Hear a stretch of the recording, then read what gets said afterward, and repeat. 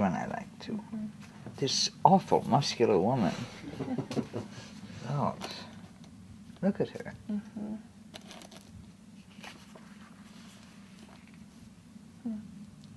Oh, I had a snake thing at one time. I'd find snakes all the time, so I'd try and cut them out. And I don't see any in the. Oh, this is one I like. I Mhm. like him. And this Charlie liked.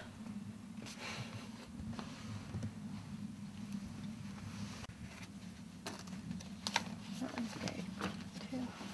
Huh. I like this one. Yeah, I do too. I like that. And then this one is my, really one of my very favorites. I think it's Mhm. funny as heck. Mm-hmm.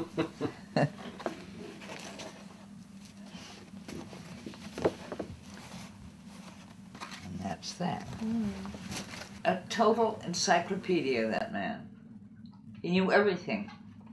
Any subject, you talk to him and he could, t- he could talk about it. You first met him in the Chelsea? Yeah.